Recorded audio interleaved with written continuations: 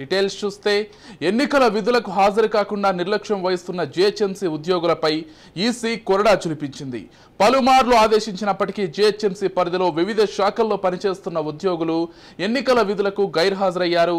ఈ క్రమంలో ఈసీ చర్యలు చేపట్టింది. నలభై మంది ఉద్యోగులపై సైఫాబాద్ పోలీస్ స్టేషన్లో ఫిర్యాదు చేశారు. GHMC additional election commissioner Mangatayaru. ఆమె ఫిర్యాదు మేరకు నలభై మంది ఉద్యోగులపై సెక్షన్ వన్ థర్టీ ఫోర్ కింద కేసు నమోదు చేశారు సైఫాబాద్ పోలీసులు.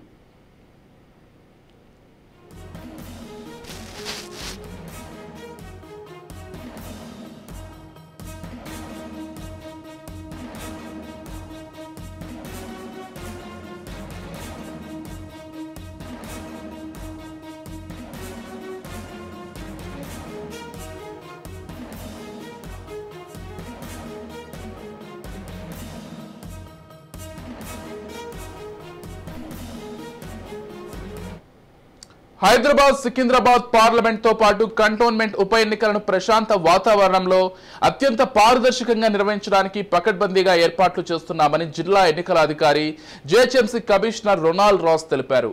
జేహెచ్ఎంసీ ప్రధాన కార్యాలయంలో కలెక్టర్ అనుదీప్ దురిశెట్టితో కలిసి ఎన్నికల ఏర్పాట్లపై మాట్లాడారు.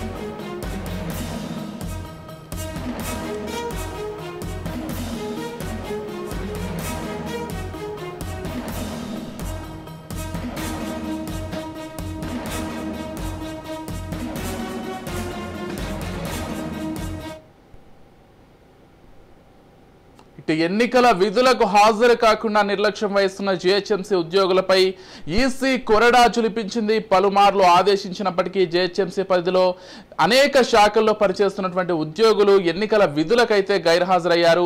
అయితే ఇదే నేపథ్యంలో వీరిపై చర్యలు తీసుకుంది ఈసీ. దాదాపు నలభై మంది ఉద్యోగులపై సైఫాబాద్ పోలీస్ స్టేషన్లో కంప్లైంట్ చేసినట్లుగా తెలుస్తుంది. మొత్తంగా ఇదే అంశానికి సంబంధించి మరింత సమాచారం అందించడానికి మా ప్రతినిధి ఉషా ఫోన్ ద్వారా సిద్ధంగా ఉన్నారు. చెప్పండి ఉషా. వీళ్ళు ఎన్నికలు ఉన్న నేపథ్యంలో జిహెచ్ఎంసి ఉద్యోగులు ఎలాంటి శాఖలు చేసే వాళ్ళు కూడా విధులకు హాజరు కావట్లేదు. దీనిపైన సీరియస్గా ఉన్న జిహెచ్ఎంసి అధికారి వాళ్ళకు పలుమార్లు కూడా హెచ్చరించారు. విధులకు ఎలా అయినా సరే మీరు విధులకు హాజరు కావాలని వాళ్ళు తెలిపినప్పటికీ కూడా ఆదేశించినప్పటికీ కూడా ఆ, వీళ్ళ ఉద్యోగులు ఎప్పటికీ ఆ, అధికారులకు అధికారుల మాట వినిపించుకోకుండా విధులకు హాజరు కాకపోవడంపై వాళ్ళ నిర్లక్ష్యం పైన వాళ్ళ సీరియస్ అయ్యి వాళ్ళ మీద కొరడా పిలిపించింది ఈసీ. అయితే ఈసీ నలభై మందిని దగ్గర దగ్గర దాదాపు నలభై మంది ఉద్యోగుల పైన వేటు వేసినట్టు తెలుస్తుంది.